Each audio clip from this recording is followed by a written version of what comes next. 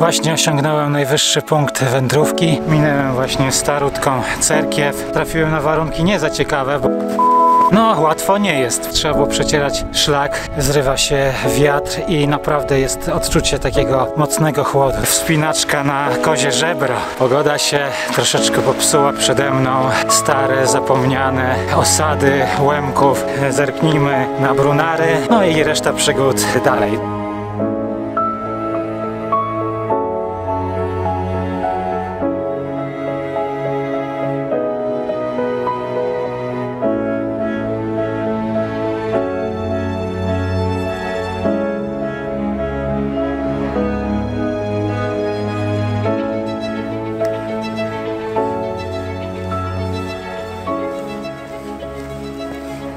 Witam pięknie w kolejnej wędrówce.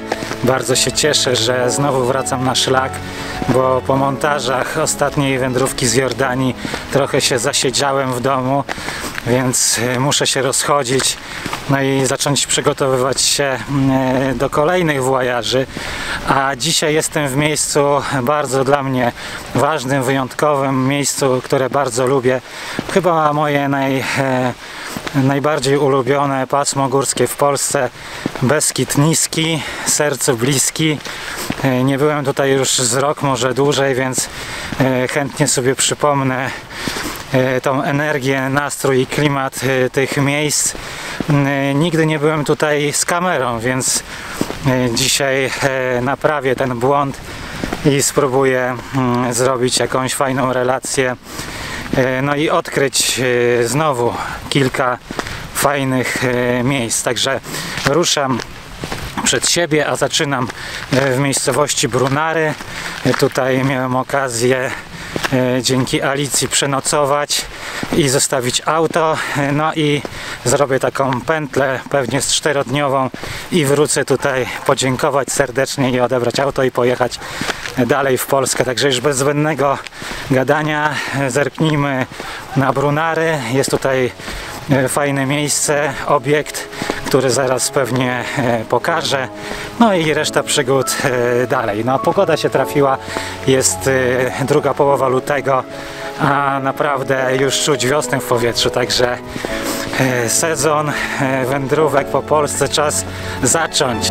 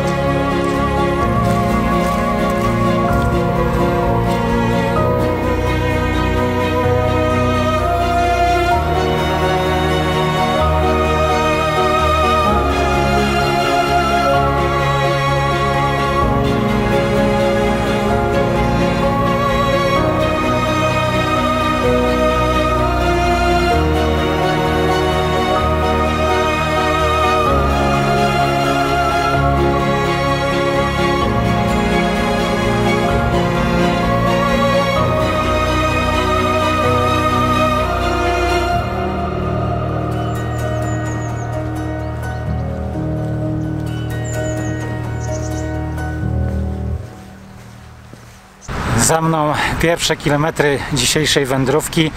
No i teraz jestem w Hańczowej. Minęłem właśnie starutką cerkiew.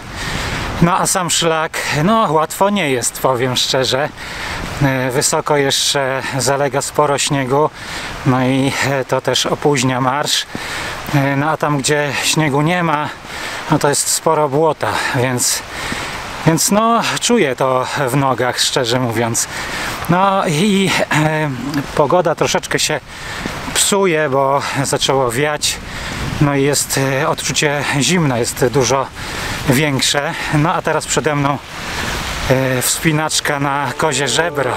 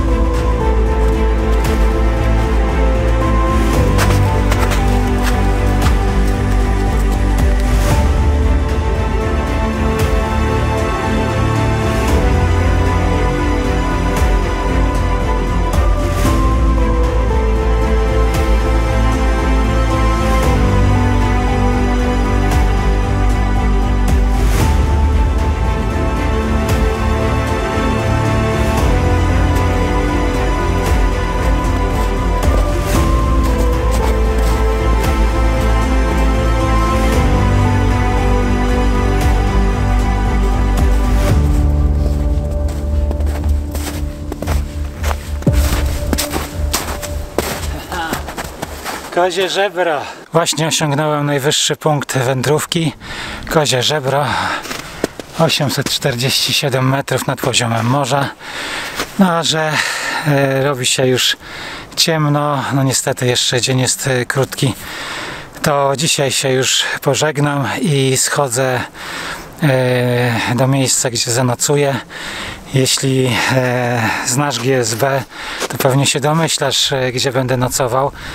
No fajnie jest być znowu w tych, w tych miejscach, którymi wędrowałem po głównym szlaku beskidzkim.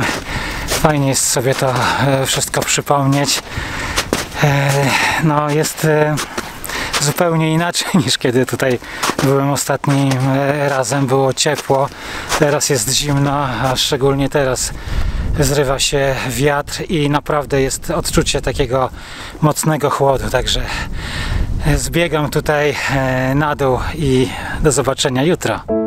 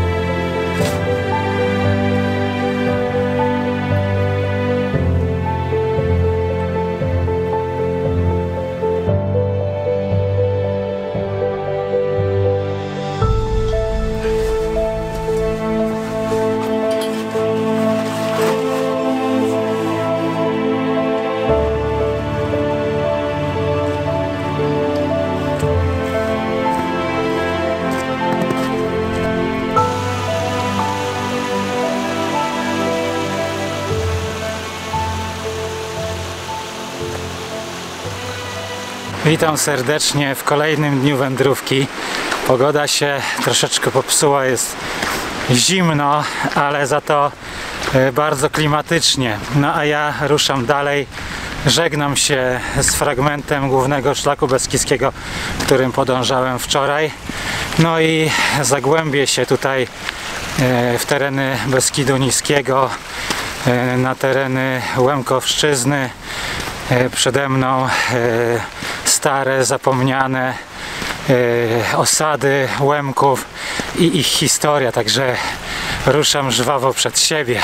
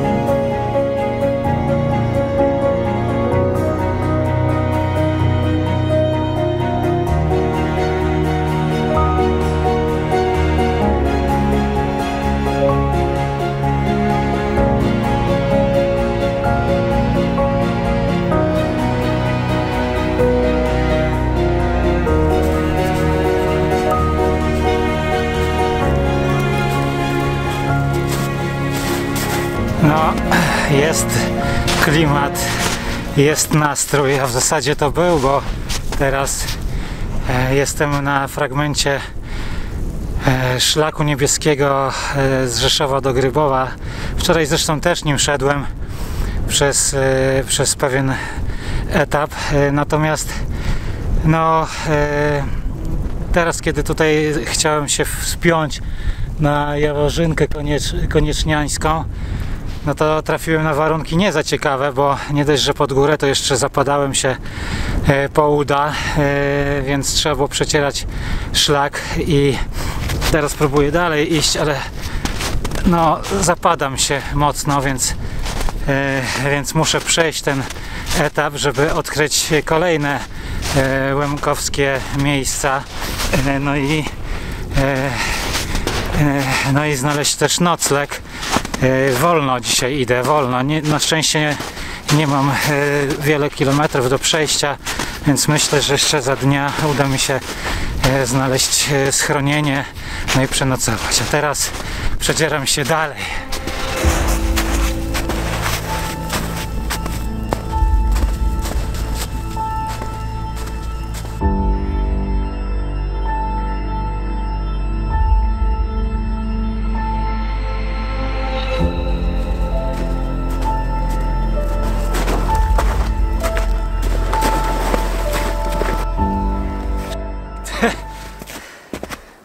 パカラ生クレ